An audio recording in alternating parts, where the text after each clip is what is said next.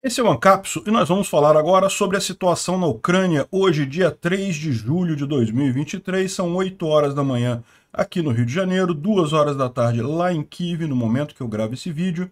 Mas antes da gente entrar no assunto propriamente dito, deixa eu falar para vocês que eu vou participar hoje do podcast Fala Glauber, que é um podcast especializado em polícia, em militar, nessa área é, mais militar, aqui no Rio de Janeiro, vai ser às 17 horas e 30 minutos lá no canal dele. Eu vou deixar aqui o link do canal dele. Ele não colocou aqui ainda o vídeo com a chamada, mas deve aparecer aí até às 17h30 lá, né? Bom, aqui na Ucrânia hoje nós não temos notícias boas, tá? Temos algumas notícias ruins. A primeira delas é que o Kadyrov deu sinal de vida junto com Delin Hanov. Vocês lembram que é aquele oficial dele que também suspeitava-se que estava morto, né? Pois é, ambos apareceram num vídeo mostrando a data e coisa e tal, aquela coisa toda, né? Infelizmente, né? Nem sempre a gente tem boas notícias para dar aqui. Também uma ucraniana que era especialista em coleta de provas para crimes de guerra russos acabou morrendo. Ela estava naquele restaurante lá em Kramatorsk, lembra? Que foi atacado pelos russos. Um restaurante, um monte de gente lá comendo. Ela foi ferida nesse ataque, estava no hospital, mas infelizmente não resistiu e morreu hoje, né? E também temos alguns ataques de drones Shahid 136 que aconteceram ontem, principalmente aqui na região de Sumi, aqui na, uh, na Ucrânia. Vamos falar sobre essas notícias ruins. Temos outras notícias boas também. Os ucranianos continuam avançando aqui nas frentes em é, Orihiv, em direção a Robotny, e também aqui nas frentes de Velika Novosilka. Né? É, o progresso é devagar, como a gente estava falando, mas isso é o esperado mesmo nessa fase da contraofensiva. Os ucranianos estão reclamando muito da falta dos F-16 na linha de frente. Né? A gente já tinha falado sobre isso, o, o que é o general ucraniano, já tinha mencionado que está fazendo muita falta. Os aviões ucranianos são de uma geração anterior aos aviões russos, então é preciso pelo menos equiparar isso daí, mas parece que o Ocidente está meio que de, é, é, demorando a fornecer os F-16. E existe uma suspeita nisso daí que a gente vai falar agora, que é justamente o medo da Rússia desabar completamente. Né? Ou seja, o Ocidente quer que a Ucrânia ganhe a guerra, mas quer que ela ganhe bem devagarzinho para dar tempo dos russos se acomodarem lá na Rússia. Eles imaginam que se essa contraofensiva ucraniana tiver muito sucesso, for muito rápida, eles temem que figuras como Prigogine ou outras pessoas até piores lá dentro da Rússia acabem no poder. Né? Então isso é um problema realmente, porque esse negócio de ganhar a guerra devagarzinho, você acaba matando muita gente, né? acaba tendo um custo em termos de vidas ucranianas muito maior. Né? Vamos falar sobre isso, será que é isso mesmo que está acontecendo? Será que tem algum outro motivo? Né? Vamos falar também sobre a usina nuclear de Zaporizhia, que continua o pessoal certo que os russos vão, vão explodir essa usina, já estão fazendo preparações para a emergência nuclear que vai resultar disso daí. Enfim, como vocês veem, não são boas notícias hoje. Né? Além disso, nós vamos falar também de três outros assuntos que são menos críticos, mas que também têm algumas indicações aí é, importantes. Né? Primeiro, os russos disseram que conseguiram uma forma de craquear a criptografia do WhatsApp, do Telegram e do Signal. Então estariam conseguindo rastrear mensagens nesses aplicativos. Mas não é bem. Eh, não conseguem quebrar a mensagem em si, só conseguem saber quem está mandando mensagem para quem. Né? Além disso, a gente tem a informação de que a missão de paz do Papa fez água, não conseguiu nada nem na Rússia nem na Ucrânia, o que é imaginado. Né? A gente sabe que esse Papa ele está só repetindo as palavras de ordem do Putin, está só falando o que o Putin quer que ele fale. Né? Era lógico que isso não ia dar em nada. E por fim, a gente vai falar sobre a grande investigação que está acontecendo, a grande suspeita que surgiu no governo brasileiro de que o Brasil é uma incubadora de espiões russos. Né? Eu já estou falando isso aqui desde o início do ano, aliás, desde o início do ano passado, desde o início da guerra. A quantidade de espião russo que tem aqui no Brasil é impressionante e eu me pergunto realmente até que grau eles estão dentro da estrutura do governo brasileiro, né? Porque é aquele negócio, né? Bolsonaro, quando foi aconselhado a não ajudar a Ucrânia, teve gente aconselhando ele a fazer isso, ou seja, pode, pode ter sido coisa realmente de de uma infiltração muito grande dentro do governo brasileiro nessa área. Né? Vamos falar sobre esses e outros assuntos em detalhes. Essas notícias foram sugeridas por Caneta Ancap, Stalin foi para Disneylândia e várias outras pessoas. Obrigado aí ao pessoal que sugeriu a notícia. Obrigado a você que está assistindo o nosso vídeo. Se você gosta do nosso conteúdo, por favor, deixe o seu like, se inscreva aqui no canal. Né? Uma coisa que eu esqueci de mencionar é que o tópico do bate-papo lá no Fala Glauber vai ser a guerra da Ucrânia. Né? Bom, uh, aqui, ó, infelizmente, na né, notícia ruim aqui, o Alan Delin Hanov, que é aquele oficial lá do Kadyrov, é, que estava também dado como morto algum tempo atrás, e o próprio Kadyrov, que o pessoal estava falando que estava muito mal e coisa e tal. Eles gravaram um vídeo dizendo que estão bem, estão tomando café da manhã lá na Chechênia e coisa e tal. O que, que eles falaram que eram? Que eles espalharam os boatos de propósito, por quê? Porque eles estavam fazendo como é que chama mesmo aquele negócio? Que é aquela peregrinação a Meca. Eles foram a Meca, né? Eles são muçulmanos e existe uma, uma, um costume muçulmano de uma vez por ano, se não me engano, é, ir a, a visitar a Meca, acho que pelo menos uma, uma, vez na vida, né? Todo muçulmano deve visitar a Meca lá, aquele, o local sagrado lá do, do muçulmano, e, uh, enfim, e eles queriam deixar isso em segredo, que eles iam desaparecer alguns dias, aí fingiram a própria morte e coisa e tal, né? Eu não sei se isso é verdade, se isso é mentira, uh, o fato é que eles estão vivos, eles mostraram, eles falaram sobre essa, essas notícias e coisa e tal, então tudo indica que eles ah, estão vivos sim, mostraram o celular com a data, né?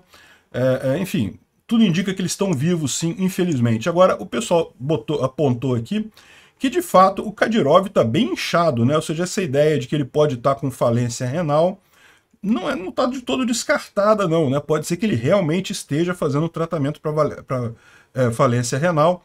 É, para quem não sabe, quando você tem problema nos rins, a primeira coisa, o primeiro sintoma que aparece é justamente você se inchar muito, porque o rim não começa, não consegue tirar o líquido, né, do, do seu corpo, enfim.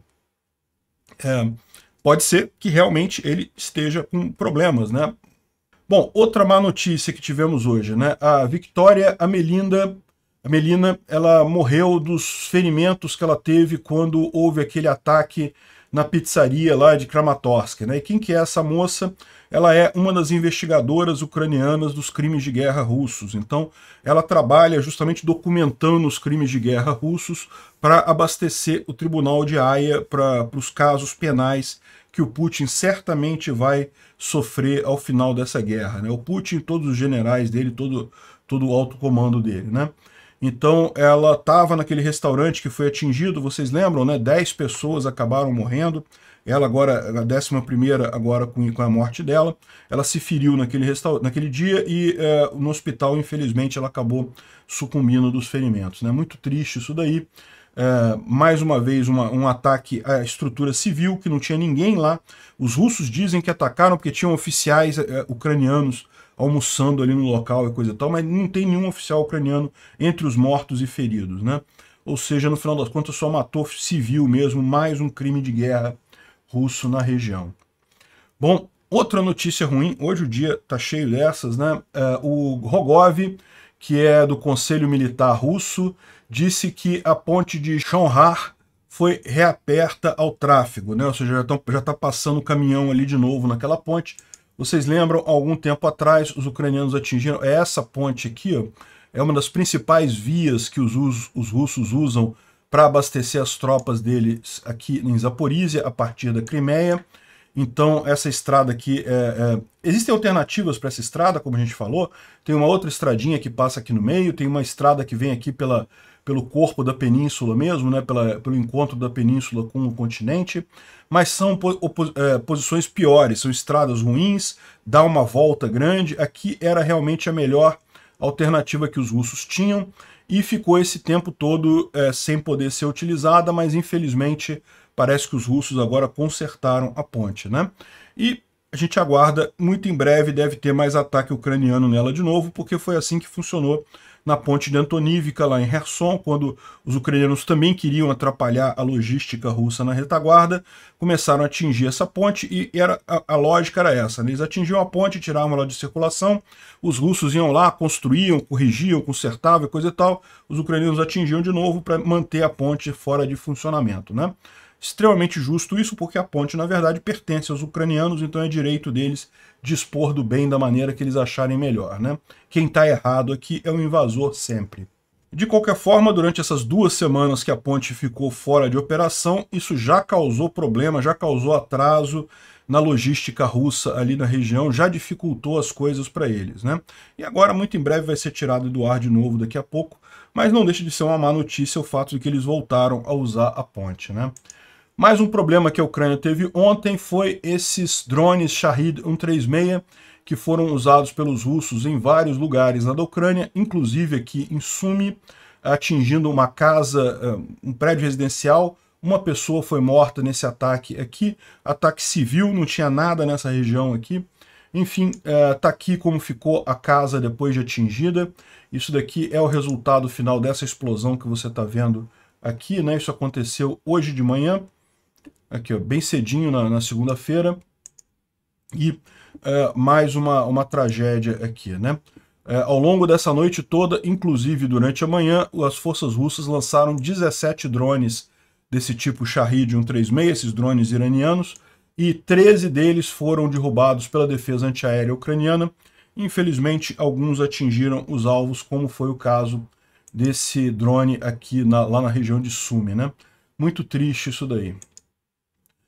Mas bom, as más notícias são essas. Né? A gente tem algumas boas notícias agora, por exemplo, a gente tem a questão aqui desse quadro comemorativo do Patriot, que indica uma informação muito importante. A gente não sabe se a Ucrânia divulgou essa foto de propósito ou se vazou sem querer, mas vocês lembram no dia 13 de maio em que houve várias aeronaves russas derrubadas no oblast de Briansk, né? Briansk fica aqui em cima, esse aqui é, é a cidade de Briansk, é a capital do Oblast, né, ou estado de Briansk aqui. Isso aqui é território russo. E naquela época, vocês lembram, foram três helicópteros e dois aviões que foram derrubados nessa região. E aí muita gente não sabia o que aconteceu, se foi fogo amigo, se foram os próprios é, russos que derrubaram essas aeronaves, o que, que aconteceu. E agora o que essa imagem aqui confirma é justamente está aqui, ó, 13 de 5 de 2023, 13 de 5 de 2023, ou seja, foram exatamente é, é, dois aviões e três helicópteros aqui derrubados nessa data, né? Ou seja, são justamente os três helicópteros e dois aviões lá de Briansk que foram derrubados. Aí tem mais um monte de drone Shahid, um monte de outros aviões em outras oportunidades, mísseis e coisa e tal. Tudo isso daqui derrubado pela bateria Patriot onde estão marcadas essas coisas aqui, né? Ou seja, botar uma bateria dessa lá na linha de frente ia fazer uma festa com aqueles helicópteros russos que estão lá. Eu não sei porque que eles não estão fazendo isso. É bom, eles têm medo de, de perder a bateria Patriot perto da linha de frente, né? Mas de qualquer forma mostra a capacidade aí do Patriot é, é, nesse caso, né? E a gente tem a informação de que hoje também os ucranianos derrubaram mais um helicóptero Ra-52 isso aqui teria sido feito pela é, 36ª Brigada Marine, né? o pessoal do, uh, do grupamento 309, e eles teriam derrubado isso na região de, de Berdiansk. Ou seja, provavelmente é onde está marcado esse helicópterozinho aqui. Foi a região em que eles foram, em que o helicóptero foi derrubado. Né? Vocês sabem, os helicópteros russos têm sido usados como uma força, quase como uma artilharia aqui nessa região da linha de frente aqui, tem sido muito efetiva, tem atrapalhado bastante os ucranianos por aqui, mas devagarzinho esses helicópteros estão sendo destruídos, né? E o que o pessoal faz a conta aqui é que, no final das contas, o número de helicópteros, imagina, já está abaixo de 40 helicópteros desse tipo que a Rússia tem. Um helicóptero desse custa caro, é difícil de produzir, não se sabe nem se a Rússia tem capacidade de produzir esses helicópteros com as sanções, e eles estão perdendo rapidamente essa frota deles aqui, né? Bom, saiu uma outra notícia que um outro Ra-52 teria sido derrubado na região de Tavri, na região de Kherson. Ou seja, estão falando também que derrubaram de ontem para hoje aqui, ó, isso daqui, ó, dia 3 de julho, né, às 6 da manhã, é, na região de Tavri, que é, né, é, esse aqui está aqui, né, a região de Tavri é por aqui, aqui ó, Tavrisk é aqui do lado de Nova Karhovka, né, bem onde tem a barragem que foi destruída ali, então, o que eles estão dizendo aqui é que teria sido derrubado um outro helicóptero desse, e é, isso seria o 74º helicóptero que foi derrubado desde o início da invasão. A frota inicial eh, russa era estimada entre 97 e 120, ou seja, apenas entre 40 e 60 deles é, se é, existem ainda, né? Ou seja, mas aí o pessoal completa aqui que, de acordo com a estimativa do Ministério da Defesa britânico, no início da guerra a Rússia tinha só 90 desses helicópteros, então devem faltar 26 apenas. Enfim, uh, a gente não sabe como é que é isso daqui. Pode ser que isso daqui, às vezes acontece tendo o pessoal se confundir, falar que derrubou um helicóptero no lado, outro confunde que é do outro lado e coisa e tal. Então pode ser que seja o mesmo helicóptero que eles estejam falando aqui que foi derrubado é, de ontem para hoje. Ou pode ser que seja um, um, outro helicóptero também, né? Porque pela posição é uma posição bem diferente. Um teria sido derrubado aqui perto de Kherson e o outro derrubado aqui perto de Polory, né? Então, uh, não sabemos se são dois ou se são um, mas de qualquer forma uma boa notícia, né? Menos helicópteros aí na região. E bom, os engarrafamentos na ponte de Kerch continuam muito grandes ali e principalmente agora tem um engarrafamento maior para sair da Crimeia do que para chegar na Crimeia, né? É, de novo, a gente sabe que esses engarrafamentos estão acontecendo porque os russos estão suspeitando de tentativa de ataque na ponte da Crimeia, então eles estão sendo muito rigorosos com os carros que estão passando ali. Junta isso o fato de que é verão nessa época, então muitos russos querem ir na Crimeia para passar férias e coisa e tal, então já tem um aumento de tráfego normalmente. Então, com isso, você está tendo essa, esse engarrafamento monstruoso lá, tanto para chegar na Crimeia quanto para sair da Crimeia. E por que, que tem tanta gente querendo sair da Crimeia agora se o verão mal começou por lá, né? É, bom, pode ser por conta desse vídeo aqui que os ucranianos liberaram. Eu vou ter que tirar o som por, por conta da música, mas é um vídeo que vocês vão entender rapidamente aqui, um alerta de visitante. Vocês têm planos para esse verão? Ir para pra praia, né? Pegar um surfzinho, dar uma passeada e coisa e tal, pegar uns filmes americanos aí existe um aviso de visitas né, nas praias da Crimeia.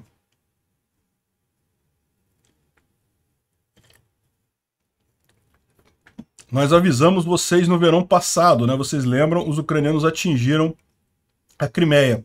É, no verão passado deixou muito russo assustado lá com esse negócio, né? E agora nós estamos avisando que a gente vai novamente usar é, é, Storm Shadow, né? Tempestades sombrias, né? Você lembra o nome do, do, do míssil lá que os ucranianos usam, né? O Storm Shadow, né? Então eles tá, estão falando aqui, ó, toma cuidado, se você se você é, vai para Crimeia, né, vai estar tá um clima tempestuoso lá, né, um stormy weather. Ou seja, já estão indicando que vão usar o Storm Shadow na Crimeia nesse verão, que é para os turistas tomarem cuidado. E aí por isso os russos voltaram e está tudo engarrafando agora a ponte da Crimeia para sair da Crimeia, né? Bom, e ontem teve também um ataque ucraniano numa base próxima a Krasnodar Rai. Aqui, ó, a base fica nessa região aqui. É uma base aérea que tem aqui, que está sendo usada pelos russos para lançar aqueles drones Shahid 136, né? O ataque, é, a gente não sabe se teve efeito, né? Causou uma cratera muito grande, mas esse tipo de cratera assim no chão, né? É sinal de que, a menos que tinha alguma coisa ali naquele lugar que explodiu com o ataque do drone, né? Não dá para saber o que, que uh, destruir chão acaba não resolvendo nada, né? Aqui ó, tem uma imagem aqui do que, que tinha na região, aqui ó, parece que era um, um, eh, um campo de pouso, pode ter helicópteros aqui, pode ser, isso aqui pode ser coisa de drone Shahid, tá vendo aqui? Ó? Lançadores de drone Shahid. Pode ser que tenha sido isso que tenha explodido aqui, ou seja, quando o drone ucraniano atingiu os lançadores de drone Shahid, os drones que estavam nos lançadores explodiram e acabaram é, gerando uma explosão grande aqui. Mas a gente não sabe de fato o que, que houve aqui. Os russos falaram que eles derrubaram o míssil, que era um míssil ucraniano que foi derrubado na, na região. Né? Pode ser que seja, né? Tem aquele míssil Green 2, que é de fabricação ucraniana, e esse míssil não tem a restrição do Storm Shadow e do HIMARS de não ser usado contra o território russo. Os ucranianos podem usar o Green 2 aonde eles quiserem, até em Moscou, se tiver vontade, né? É, tem gente dizendo também que parece que isso daqui é uma, uma FAB 500, ou seja, aquela, bo aquela é, bomba lançada pelos próprios russos, né, uma bomba é, burra que é com mais modernizada, com guia por GPS, e que volta e meia falha, ela falha muitas vezes, os russos já se atingiram com ela várias vezes, pode ser que seja isso também, né? Os ucranianos também atingiram a cidade de Olenivka, que fica ali perto de Donetsk. Então Donetsk está aqui, Olenivka em algum lugar aqui, por, um pouco mais abaixo aqui. Aqui é Olenivka, Olenivka aqui. É a cidade que foi atingida aqui nessa, por, aparentemente por vários, é, várias bombas, né, vários mísseis. Pode ser HIMARS, pode ser Storm Shadow, mas é, a cidade foi, foi atingida pelos ucranianos, né? Bom, uh, vamos falar um pouco sobre a linha de frente. A gente não tem informações sobre a, a ponte aqui da, de Antonivka, né, a, a, cabeça de ponte ucraniana aqui, não tivemos nenhuma informação.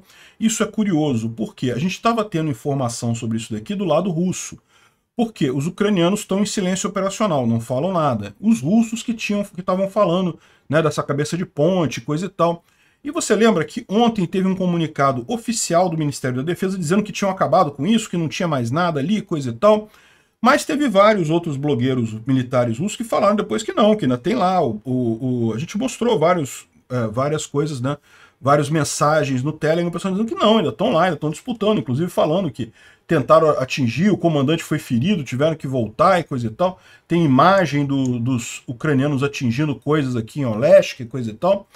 Só que, aparentemente, o que aconteceu de ontem para hoje foi que o Ministério da Defesa russo emitiu uma ordem para parar de falar disso daqui. Aparentemente, isso está deixando os soldados russos nervosos, então eles não querem que se fale mais sobre essa cabeça de ponte. Talvez eles tenham desistido, viram que não conseguem é, acabar com ela, então é melhor não falar para não deixar os soldados preocupados antes do tempo, né? Enfim, a gente não sabe o que está acontecendo justamente porque não tivemos informações aqui. Né? Também não tivemos informações sobre, mais uma vez, sobre a situação aqui próximo de Vasilivka. Né? A gente sabe que os ucranianos continuam batalhando aqui, tentando tomar Jerebianki. É, não está fácil, né? os russos estão jogando mais reservas aqui na região, mas de qualquer forma essas reservas teriam que ser enfrentadas uma hora ou outra. Né? Os russos estão tentando manter a linha de frente aqui, mas uma hora essas reservas vão acabar e aí os ucranianos vão comprometer a força principal deles para avançar nessa direção. Um outro ponto importante aqui, é, que a gente vai falar mais adiante, é a questão da usina de Enerhodar. Né? Tudo indica que sim, os russos vão explodir essa usina nos próximos dias. E talvez a questão toda aqui seja justamente uma grande, um grande arranjo estratégico de como fazer isso, porque pode ser que a ameaça dos russos seja justamente se os ucranianos avançarem aqui para Enerhodar, eles explodem a usina. E aí, como é que você resolve esse problema, né?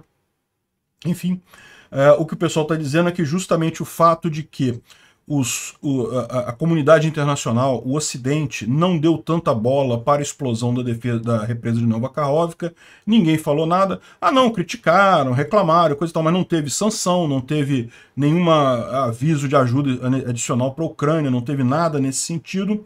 No final das contas, é, os russos se sentem agora empoderados para fazer isso na usina de Enerhodar, né? Enfim, não temos informação. Agora temos aqui na região de Orihiv, né? Orihiv, segundo essa mensagem aqui no Telegram russo, né? O Telegram lá é de um cara chamado Arcanjo, Arcanjo das Forças Especiais e coisa e tal, né? Uns nomes meio estranhos, mas enfim. O que ele está dizendo aqui isso aqui é um russo falando, tá? O inimigo foi em, em a, a operação de assalto, né, de avanço, nas posições do, uh, do grupo 1430. Existem é, batalhas acontecendo nesse momento, tanto nossa quanto a artilharia do inimigo estão trabalhando é, é, com muita força. Né? Não foi vista nenhuma tecnologia estrangeira a não ser os M13, M113, né? M113 são APC, são carregadores de soldados. É, é, é, um blindado, mas a blindagem dele não é essa coisa toda. É, ele tem algumas armas, mas essas armas não são armas muito fortes. A principal função dele é apenas transportar tropas de um lado para outro, né? E aqui o David D lembra que é, no momento que você percebe que M113 foi capaz de de é, atacar você pelo flanco. Né? E o que está que querendo dizer aqui? É porque o, o 1430, esse grupo aqui, fica justamente é, é, a oeste de Robotny. Ou seja, lembra que ontem a gente explicou que os ucranianos estavam avançando aqui a leste de Robotny e estavam é, justamente, já tinham feito algumas ações aqui em Novo Prokopivka, então eles já estão aqui avançando mais a leste de Robotny. Parece que o que eles estão dizendo agora é que também estão avançando a oeste de Robotny. ou seja, parece muito claro uma operação para fazer um cerco é, e tomar Robotnik aqui. É, é, os russos estão entrincheirados nessa posição aqui. Isso aqui é um vilarejo pequeno, não é nada muito grande, mas as posições defensivas ali foram construídas ao longo de vários meses, então são posições muito difíceis. Tudo indica que os ucranianos estão querendo fazer uma pinça aqui para é, é, anular os russos que estão aqui em Robotnik, né? O Noel Reports traz aqui também informações do Argonzo, que é um outro repórter russo, né, um outro uh, uh, correspondente militar russo. Aqui ele fala aqui sobre que também está tendo ataque, que uh, o inimigo, né, no caso os ucranianos, estão pressionando as posições russas ali em Robotnik, coisa e tal. Reze pelos rapazes, vou rezar para eles irem para o inferno logo. Enfim, uh, aqui está o Argonzo dizendo que na direção de Zaporizhia, as forças armadas da Ucrânia, com apoio da artilharia, fizeram uma operação de ofensiva grande próximo de Robotny. Né? É, existe algum progresso. No leste, os, as forças ucranianas atacaram na direção de Lugovskoy. Lugovskoy, é, na verdade, é isso daqui, ó. Né? Essas cidades muitas vezes têm diferença de grafia entre russo e ucraniano, é essa cidade aqui. A gente sabe também que os é, cidade é uma vila, um vilarejo, um vilarejo pequeno. É, é, a gente sabe que também que os ucranianos já estão aqui em Luhivsk, já quase que liberaram a cidade ontem, mas os russos retomaram. Enfim, tem muita briga aqui em Luhivsk também. Aqui, os ucranianos conseguiram tomar um número de posições ali. As tropas russas atacaram em outros lugares aqui, Kaminevask, Novondrivka, Orehiv e Novo Danilovka, né? mas não tiveram, aparentemente, ele não fala em nenhum sucesso. Ele comenta aqui de outros setores também, mas não teve nenhuma novidade nos outros setores. Né? Aqui é a visão, é a imagem associada a esse, esse texto aqui do Argonzo. Então o Argonzo bota o texto e bota a imagem associada, e está aqui, né? O work é Robotnik, né? É que o tradutor automático acaba traduzindo isso daqui. E Lugovsk é essa cidadezinha aqui, como eu mostrei para vocês, é Luhivsk, aqui é, nessa região. Né? Quem falou sobre esse, esse avanço aqui na direção de Orihiv também foi o Reporting from Ukraine. Esse canal aqui é muito bacana, eu sempre recomendo o pessoal a se inscrever lá. Ele dá reportes diários, fazendo com mapa aqui, né? E ele coloca que, aqui, como eu mencionei para vocês, os ucranianos claramente estão tentando avançar pelos flancos aqui em Robotnik, tanto a leste quanto a oeste, e segundo ele diz aqui, o avanço já é significativo, se você parar para pensar, desde o início da ofensiva, 5 quilômetros de avanço. É lógico, quando você olha isso em, em comparação com tudo que eles têm que avançar, né, para chegar em Tokmak e depois para chegar em Melitopol, é muito pouca coisa. Mas o fato é, as pessoas estão muito com aquela ideia da, do avanço lá em Kharkiv, que realmente foi muito rápido aquela contraofensiva ucraniana lá em Kharkiv, mas a situação era outra, né? Lá os russos tinham falhas na linha de defesa, não tinham pessoal suficiente. Agora os russos fizeram a mobilização, tem bastante gente, então tem uma defesa muito, é, muito firme aqui na região. É, os ucranianos sabiam que isso ia ser demorado, não ia ser tão rápido quanto Kharkiv. E a prova disso, como ele bota, é que é, os principais, as principais reservas ucranianas, né, as forças que efetivamente foram preparadas para fazer essa contraofensiva ainda não entraram. O que a gente está vendo ainda é a preparação para a contraofensiva. Né? É, são as tropas que já estavam aqui tentando limpar aquela parte inicial de mina, porque tem, minaram muita coisa, botaram muitas minas aqui, as primeiras linhas de defesa aqui, até chegar na linha principal de, de defesa russa, onde efetivamente a contraofensiva deve entrar na fase mais aguda dela. Né? Ele fala aqui como lá em Kharkiv foi muito rápido, porque realmente depois que furou a primeira linha de defesa, só tinha uma linha de defesa, os ucranianos conseguiram avançar muito rápido em tudo lá. Aqui a coisa está como esperado. Né? E eles falam, por exemplo, por que, que Robotnik está levando tanto tempo para ser tomada? Embora seja um vilarejo com três, quatro ruas, existem oito peças de artilharia de grande porte ali dentro, então essas peças precisam ser neutralizadas pelos ucranianos, senão eles não conseguem é, avançar na cidade. Então é, é, peças que ele fala que não só de artilharia, também tanques né, blindados ali dentro, muito fortes, que precisam ser neutralizados para os ucranianos conseguirem tomar Robotnik. Né? E assim é em toda a linha de frente. Né? Tá, tá na cara que os ucranianos estão querendo fazer esse avanço aqui em Robotnik, mas isso é natural que vá, que vá demorar a acontecer. Né? Aqui também, na direção de Velika Novosilka, a gente tem informações de é, avanços ucranianos aqui em direção a Staromayorsk e em direção a Priutini, mas nenhuma novidade em termos de é, área tomada por nenhum, dos, nenhum lado. Né? Em Barmut, os ucranianos estão falando que uh, os, os, mobilizados né, que foram colocados lá em Barmut para defender a cidade, eles estão sendo forçados em fazer contra-ataques suicidas e quando se negam a fazer isso, eles acabam sendo punidos, né? Então ele fala aqui para um mobilizado do regimento 1428, ele fez um vídeo reclamando que o comando é, obrigou, proibiu, tirou as armas deles quando eles estavam, quando, depois que eles foram derrotados pela artilharia ucraniana, é, ao chegarem né, à linha de contato com os ucranianos lá. Ou seja, eles estão reclamando muito desse tipo de assalto, é, assalto de carne, né? que eles são jogados na linha de frente para morrer só para impedir o avanço ucraniano ali naquela região. Né?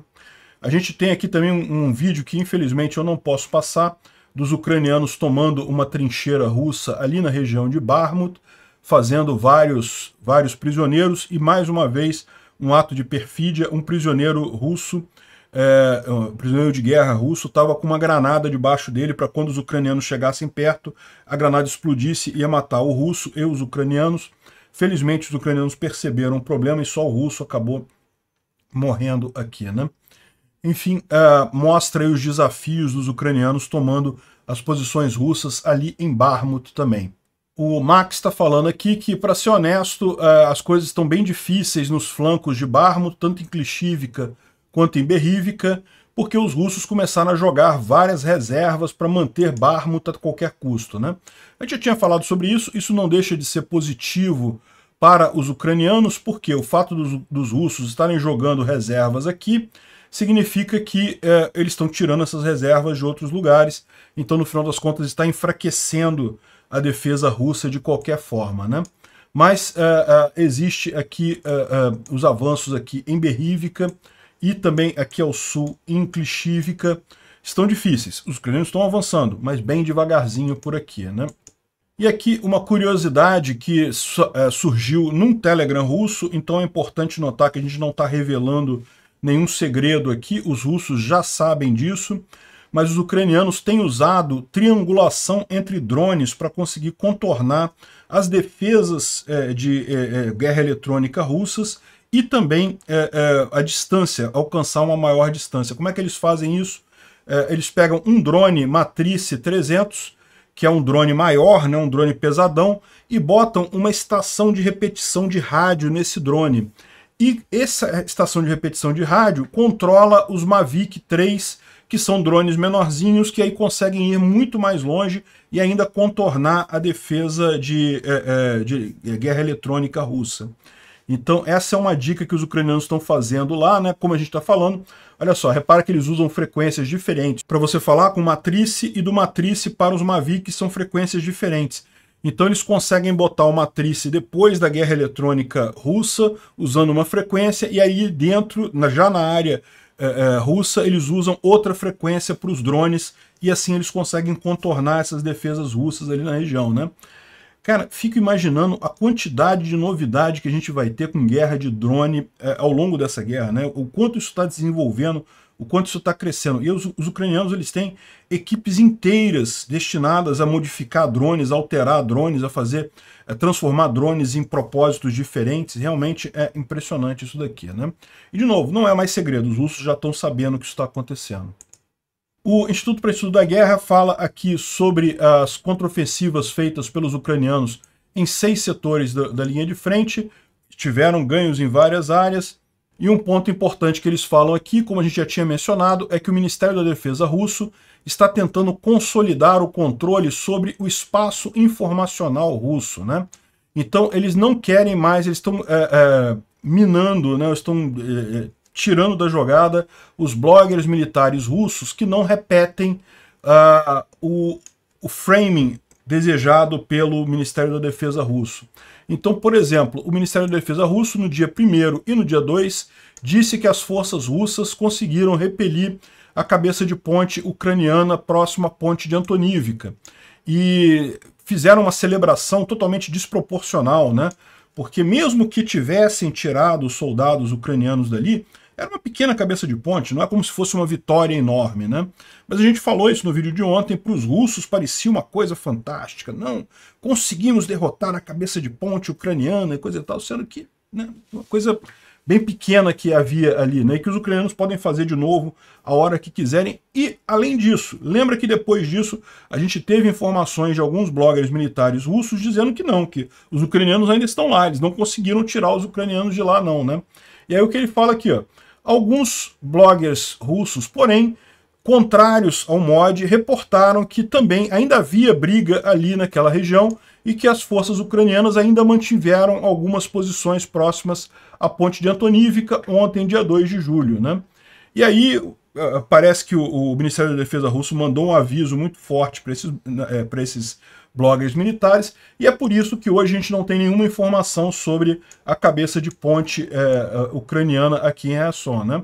Os ucranianos já não falavam nada mesmo, né? e os russos agora não estão falando porque o Ministério da Defesa russo mandou eles ficarem quietinhos e que não, não pode reportar nada ali, porque supostamente acabou o problema, eles conseguiram tirar os ucranianos, então pronto. É lógico, é mentira, os ucranianos estão lá ainda, mas né, essa, esse é o interesse da, da informação russa ali. Né? Um ponto que eles falam aqui é que o fato da comunidade de bloggers militares russos comemorar um combate trivial desses, né, uma operação trivial dessas, indica que eles não acreditam que tenham nada, nenhum outro sucesso maior do que esse para reportar nessa uh, campanha da contraofensiva ucraniana. Né?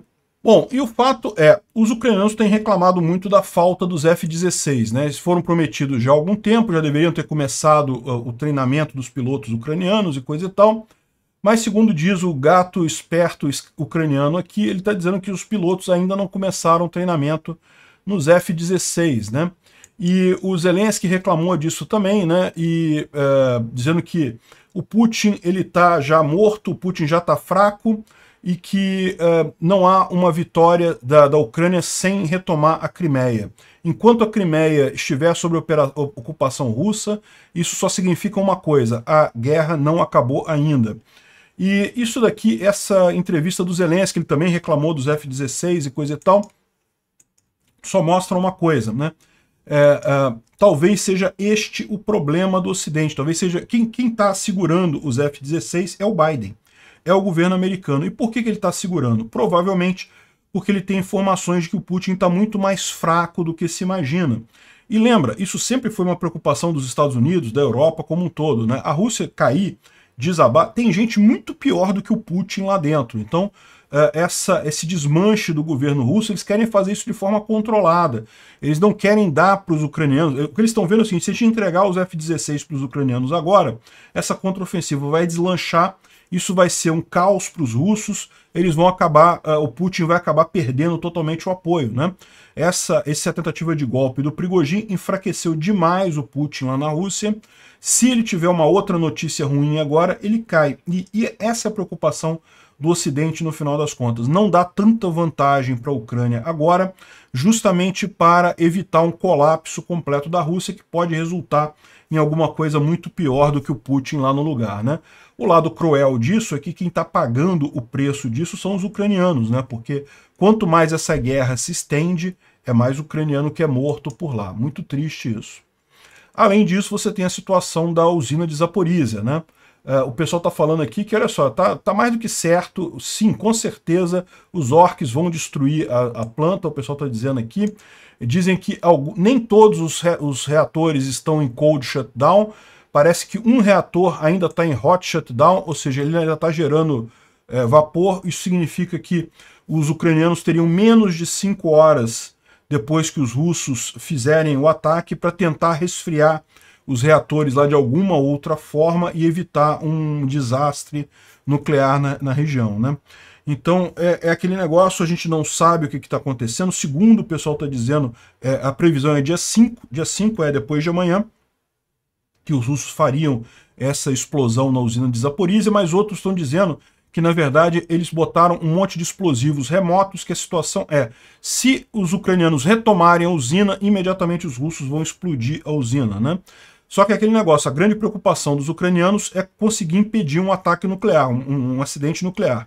Eles teriam então cinco horas, uma vez destruído uh, uh, o sistema de refrigeração da, da usina, para reco recolocar a refrigeração ali e impedir um dano maior. Né? Como é que eles poderiam fazer isso? Não sei. Talvez tenha tecnologia capaz de fazer esse tipo de coisa. Talvez seja isso que eles estejam trabalhando e uh, para achar uma solução nesse sentido. Né? E talvez por isso que esse fronte aqui, justamente na região de Vasilívia, que é o fronte mais próximo de Enerhodar, está meio que parado justamente por conta de é, é, aguardarem uma informação sobre o que, vai acontecer aqui com Enerhodar. Né? Bom, o Tribunal de Haia é, criou o Centro de Informação para Investigação dos Crimes de Guerra Russos. Né? Então o Tribunal de Haia já está se preparando para coletar as informações e é, responsabilizar os oficiais russos depois dessa guerra. Pode ter certeza, isso vai ser muito necessário. Né? O Rogov, que é um, é, o, entre aspas, o chefe da Zaporizhia apontado pelos russos, né? não é de fato, foi colocado lá pelos russos, ele disse que conseguiu é, desvendar uma, é, uma trama para matar ele.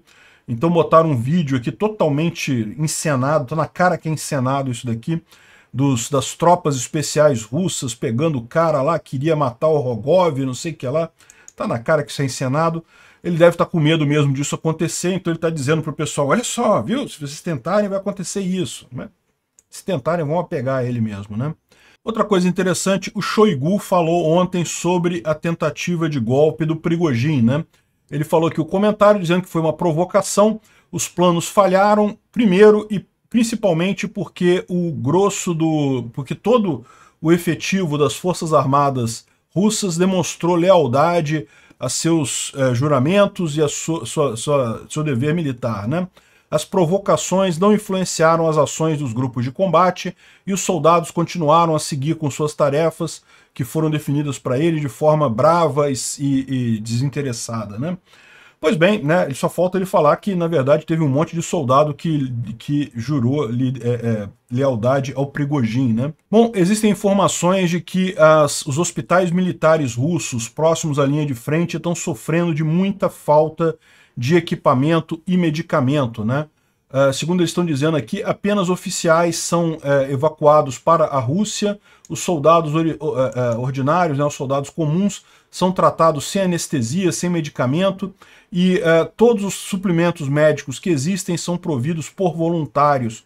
No final das contas, parece que eles estão numa situação muito ruim ali em termos de equipamento médico. Né? Felizmente, a Ucrânia tem uma rede de apoio muito maior nesse sentido, porque tem o apoio do Ocidente e das pessoas também no Ocidente. Muitos voluntários têm feito esse tipo de apoio para hospitais lá na Ucrânia. Né?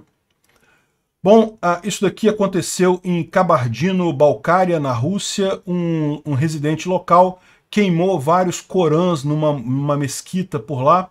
Ele entrou na mesquita, botou fogo aqui em vários corãs, o pessoal conseguiu é, jogar água e acabar com o incêndio, né? É, mas ficaram bastante danificados os corãs, os corãos. É, é, o plural de um corão é o que? São corões ou são corães? Eu não sei qual é o plural de corão. Enfim, é, o fato é que é mais um escândalo aí que aconteceu com a comunidade muçulmana lá na Rússia, né? Um absurdo isso. Vocês sabem, na religião muçulmana, o Corão ele é uma representação de Deus, né? Então você não do Jalá, é, então queimar o Corão é uma blasfêmia, né? E a gente sabe que tem muita tensão entre católicos, entre, entre cristãos ortodoxos, principalmente, e muçulmanos dentro da Rússia. E por falar em religião, também a gente ficou sabendo hoje que a missão de paz do Papa Francisco, adivinha, não deu em nada. Né? Esse pessoal que não não está acompanhando a guerra, não sabe o que está acontecendo por algum motivo. Aliás, isso é muito comum, né? Quanto menos a pessoa sabe sobre o que está acontecendo de verdade, maior a chance dela estar tá alinhada com a Rússia. A Rússia trabalha realmente no campo da desinformação, aqui do pessoal que não, não tem informação sobre o que está acontecendo na guerra. Né? E acontece isso com Lula, com o Papa, com esse pessoal comunista todo. Bom, uma outra informação que a gente teve foi que uh, o FSB descobriu, saiu uma reportagem no New York Times, está aqui a reportagem do New York Times, dizendo que os russos conseguiram avançar na, uh, no monitoramento de aplicativos de mensagem como Telegram, WhatsApp, Signal e vários outros, é, depois do dia 24 de fevereiro do ano passado, ou seja, depois do início dessa guerra. Então parece que eles desvendaram maneiras de conseguir, é, é, através de um software que é plugado direto na, na infraestrutura de comunicação, eles conseguem um monte de operações, um monte de informações sobre a informação que está trafegando ali, né? Então, é, parece que o New York Times teve acesso a um monte desses documentos descrevendo como é que funciona o software. Eles não mostram tudo aqui, né? E o que eles falam aqui, olha só, o software não consegue interceptar mensagens específicas, mas consegue saber quando alguém está usando mais de um telefone, conseguem ligar as relações de rede é, de uma pessoa com a outra, consegue triangular quais telefones estavam em quais locais em, em determinada hora. Olha só, se é isso daqui mesmo, se ele não consegue ler a mensagem, então isso daqui não quer dizer muita coisa, não. Isso aqui no Ocidente também já tem um monte de software que faz isso. A Polícia Federal aqui no Brasil tem software para fazer isso. Então, assim, não é nada muito é, é, novidade, não é nenhuma grande novidade no final das contas, né? A, a chamada para essa matéria falava muito, muito coisas muito sérias, né? Não, depois da invasão da Ucrânia, eles conseguiram ler as mensagens, saber o que estava acontecendo em cada mensagem, do Signal do WhatsApp e do Telegram e coisa e tal, aqui ó, Signal, WhatsApp, Telegram. Mas não, na verdade eles estão monitorando só a, a, a, identidade das pessoas que mandam mensagens. Né? Ainda é uma quebra de privacidade, não tenho certeza, só que não é nada revolucionário em relação ao que já, já tem aqui no, no Ocidente, já tem em vários lugares por aí. Né? Bom, uma outra reportagem curiosa saiu aqui no The Real Times, que eu nem sabia que existia esse tipo de coisa, eu sou aqui do Rio de Janeiro, é... mas parece que eles fizeram essa reportagem com a Gazeta do Povo, ou seja, provavelmente eles traduziram a Gazeta do Povo para uh, inglês aqui, né? E de fato eles falam sobre o grupo Wagner que tem uma presença grande na Venezuela. Eu já falei sobre isso. É uma coisa arriscada mesmo esse negócio, né? Essa história toda de Rússia, grupo Wagner e coisa e tal, tá muito mais perto aqui do Brasil do que o pessoal imagina, né? E de novo, é, o grupo Wagner ele ganha dinheiro, ele, ele uma boa parte da renda dele vem justamente deles explorarem minas de ouro e outros, é, outras é, coisas preciosas minérios importantes lá na, na África, né? Para esse pessoal começar a fazer isso aqui no Brasil, invadir a Amazônia, começar a fazer a coisa aqui no Brasil, isso não custa muita coisa não, eles já estão ali na Venezuela, já tem uma força armada que é significativa, muito melhor do que o exército russo em si, enfim, é bastante preocupante isso daqui, né? Parece que eles estão lá na Venezuela, inclusive explorando uma mina de tórium, aqui ó, minas de tório, pontos de extração de tório na Venezuela, né? Ou seja, é, isso é uma coisa preocupante realmente aqui no Brasil. E ainda mais quando você lembra que o Brasil está cada vez mais é, marcado como uma incubadora de espiões para a Rússia, né? Ou seja, eu já falei, eu tenho falado isso desde o início dessa guerra, a quantidade de ligações da Rússia com o governo brasileiro é impressionante. Eu sinceramente, eu não sei não, eu tenho a impressão de que o Brasil já está tão infestado de agente russo no governo brasileiro que o governo nem reage contra isso, né?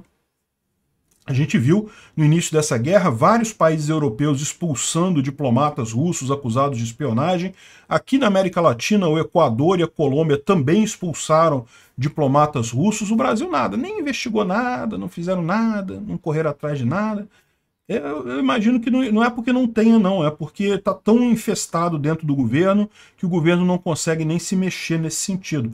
E isso explicaria muita coisa, né? Por que, que Bolsonaro, por exemplo, que sempre teve um alinhamento mais com o Ocidente do que com, é, com essas ditaduras comunistas e coisa e tal, por que, que ele acabou tendo uma ligação com o Putin, ele apoiando o Putin nessa guerra? Né? E sim, o Bolsonaro ficou do lado errado nessa guerra. Eu, eu sempre critiquei ele por isso.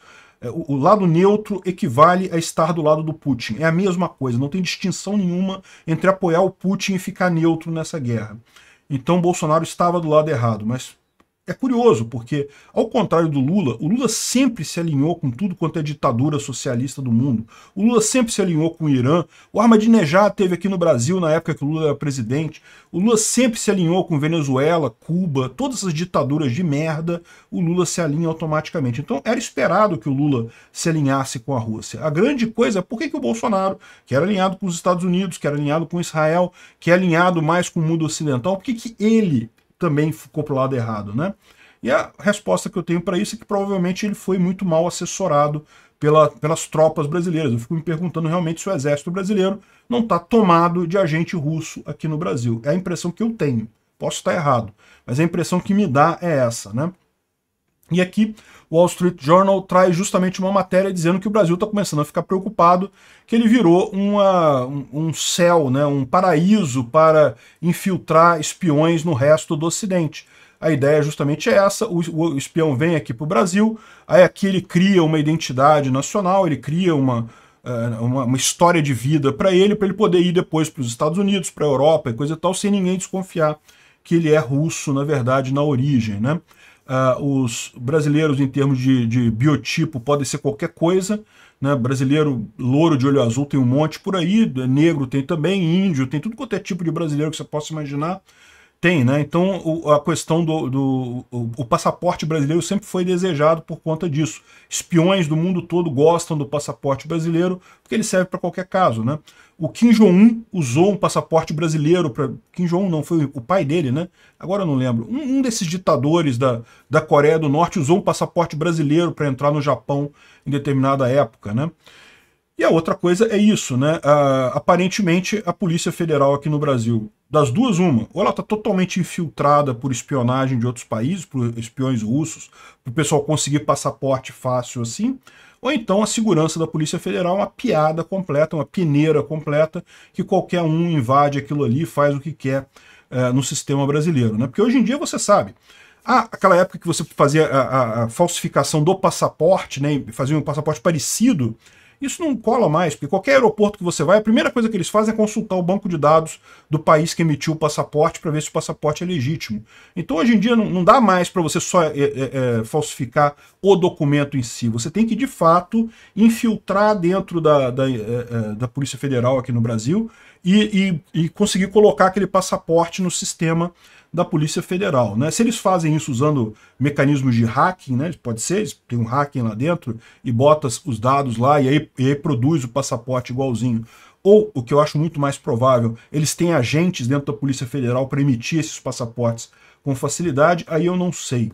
Mas realmente está mais do que na hora do pessoal começar a investigar esse troço aqui. Eu espero que realmente corram atrás disso. Infelizmente, com Lula como presidente, não acho que isso vai longe, não. Obrigado por assistir o vídeo até o final. Além de curtir, compartilhar e se inscrever no canal, considere se tornar patrocinador com valores a partir de R$ 1,99. Clique no botão Seja Membro abaixo para saber as condições e vantagens de patrocinar o canal. Mais informações sobre o nosso projeto, visite nossos sites indicados na tela.